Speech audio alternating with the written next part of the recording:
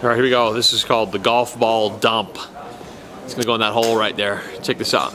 It's groovy. Here we go. Action. Woo, look at that.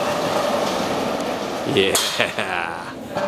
This is actually a uh, baseball stadium, but it doubles as a golf range.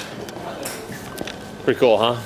Quick announcement. I have finally figured out how to use Twitter, and for those of you that have Twitter accounts, follow me and I will follow you back. Let's hang out. We'll see you in the next one.